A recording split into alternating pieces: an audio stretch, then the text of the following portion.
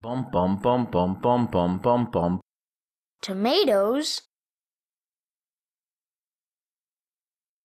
Hello, welcome to video 4. What is AI Behavior Tree Decorator? The Cone Check node.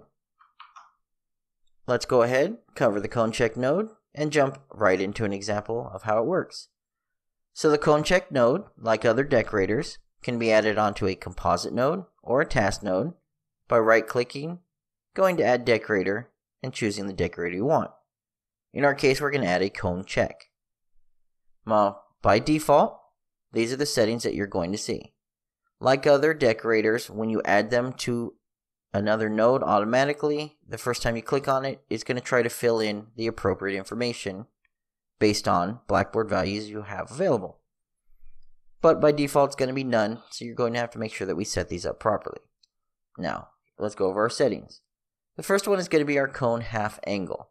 Basically, it's half of the angle of the total cone. So, for example, if you wanted it to be 180 degrees, then your half angle is going to be 90. A 90 degree cone is going to be 45 degrees. And it conveniently shows you the actual cone check angle here down in the decorator itself. We have our normal flow control for if it ab- aborts itself or nothing. Of course, set that as needed. Now, the unique conditions for here are the cone origin, cone direction, and observed. Now, technically, it's highly annoying. It does say if it's going to be a location or an actor for some of these, you're going to need vectors. They're the only thing that's going to work.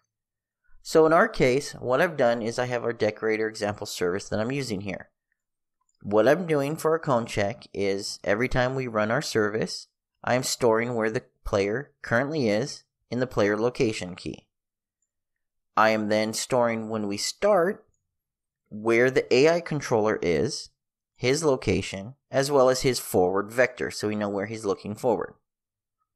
Now I'm not updating these in real time. For example, we're just showing how the cone chain work cone check works.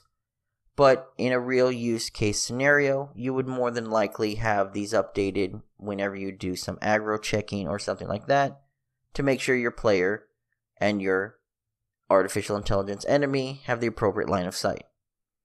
So, I've gone ahead and set up this cone check decorator here. Our origin is where our AI is currently at. Our direction is the forward, dire- forward vector of our AI. And the observed is going to be our player's location. The only one of these, like I said, that will update in real time is going to be our player location. So that way you can actually see the cone check working. Now, inverse condition basically is inverse condition. If the player is in our cone check, this is going to be true. If we check this and our player is inside of our cone check, it's going to end up being false because we've inversed it. The use case scenario for this would be we want to see where our player, we want our AI to activate when they see the player. That is our normal condition. We want our AI to activate when it can't see the player. That is the inverse condition. Maybe you have one of these set up where if they see it, they then aggro. Or you set up another cone check where if they can't see the player, now they're going to go ahead and run and hide or do something like that. You're going to make sure that they're in a safe location. So that's what you would use that for. Let's go ahead and pull out our decorator and try to set it up so we can see it. So here's going to be our sequence here. You're going to see when we fire this off, I'm going to go ahead and play. And by default, because we're inside of our cone, it's running the cone check successfully. If we were to go over here, you're going to see it fails. I'm running my example service every roughly 0.2 seconds or 5 times per second. That way, for this example, you can actually see it work in action.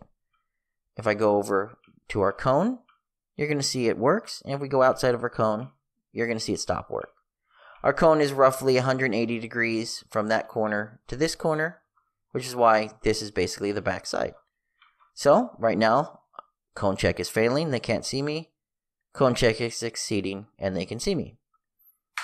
So, that is all there is to it. The cone check is just a basic, simple way of doing a cone check inside of your behavior tree without running any custom code.